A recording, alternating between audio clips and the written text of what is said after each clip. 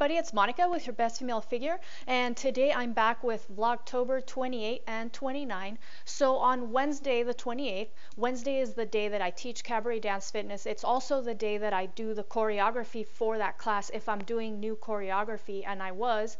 And it took me two hours, which is unusual. I can usually choreograph a lot faster than that. So two hours I was dancing at home working on this and then I went and taught class. So that was another hour of choreography and I just didn't really want to do any kind of strength training. So I went for a walk after that. Uh, I walked I think for half an hour and then I stretched. But I do want to show you some of the moves from cabaret dance fitness that can help you get a better booty and a smaller core. So this first one is a very deep lunge where your back knee is touching the floor. Um, there are various ways that you can get into it. Um, and working with a boa is really great for that. So you toss the boa on the floor and then your job is to lunge down super deep and pick it up. Notice how far down my knee is. You really need to open your legs wide so that doesn't bother your knees. Um, and then you just slowly come up, making sure to recruit your glutes. Now, if that is a little bit too intense for you, you can also practice smaller lunges like the ones I'm doing right here. This is a lunge movement pattern. So even though it doesn't really look like a traditional lunge, that is what it is. And you can just start slow, going deeper and deeper each time. You can add some rotation in the hips, um, switch sides, and you can do this stuff after your workouts for, you know, even more glute and core work if that's what you feel like doing that particular day. So notice how I'm going deeper and deeper every time, and now I'm going to go all the way to the floor. And then you just work with that boa. And if you stay down on the floor, you're going to work your glute a lot harder coming up because you're getting a really good stretch when you're down there. Next move is really simple. It's a bend and snap. So you're bending from the hip and you're just kind of snapping back up by using your deep abdominals. So this is all core work. And in yoga, that is a triangle pose, except that in burlesque, you just kind of do it more sexy. You might put a little bend in the knee. Um, and you can work the boa any way you like. You can have it around your neck and then pull it down off of you, or you can have it on the floor. And then as you bend and snap, pull it back up onto you. Um, this is a really great exercise for activating your core. Next move is a balance squat to booty pop. So you're going to squat really, really deep and balance on the balls of your feet, and then you're gonna pop your booty back and up. So you're basically doing a sumo squat to a good morning kind of deadlift movement. You can do it with your legs together. You could also do it with your legs apart if you're trying to do a little bit more raunchy movement.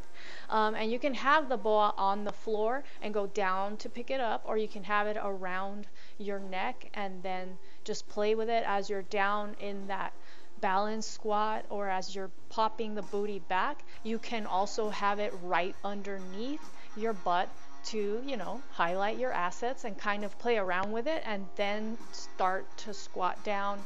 Um, really balancing on the balls of the feet. That's going to work your legs and your calves. And then you're just going to pop that booty back by squeezing your deep abdominals really hard and bending from the hips and not the waist left all the music in the video so that you can listen to the kind of stuff that is really great for doing this type of movement. You don't want to play fast music. You want to play something that's slow and sultry that kind of lets you really work at a slow tempo. Now this last move is like what you see uh, ballroom dancers doing when they swivel the feet and then they swivel the hips back and forth, but they do it a lot faster. So in burlesque, you're in heels, and a lot of times you're kind of turning around and you're swiveling the hips around. But what you're actually doing is you're using your deep abdominals to turn. So you have to really contract deep inside to do that turn. Now this last move is completely optional, but it's really fun and it's also about using your deep abdominals to thrust the hips forward. So you got the boa between the legs and you're just squeezing your deep abs and pushing it forward. Um, and you can do it from a whole lot of different positions. This is just a few of them. Um, anyways, I hope you guys enjoyed day 28. Now we're on to day 29, which was a very intense workout. So this circuit is super simple and it goes by really, really fast. It's five by five by five. Five exercises back to back up to five rounds and five ways to do it. I will post all five ways to do it over on the blog. Um, so it's really simple. You're going to start with an alternating overhead press sumo squat. Notice how I'm putting the weight down on the floor every time. So even though you're doing 15 to 16 squats, uh, you're actually doing double that because you're squatting twice every single time. Uh, after that, you're going to do a dumbbell swing, making sure to really, you know, use your glutes and your deep abdominals primarily for that exercise. Then you're going to do a resistance band squat jump making sure to get that butt way down. You don't want to just be bending from the waist. You really want to squat down deep. Then you're going to do a traveling squat with a medicine ball toss. That medicine ball weighs about 10 pounds, and the weights that I was using before were 10 pounds and 15 pounds to start. So with this exercise, it's also really important that you squat way down. Otherwise, you're going to hurt your low back. Um, and your knees because of that traveling movement is putting a little bit more pressure on all your joints.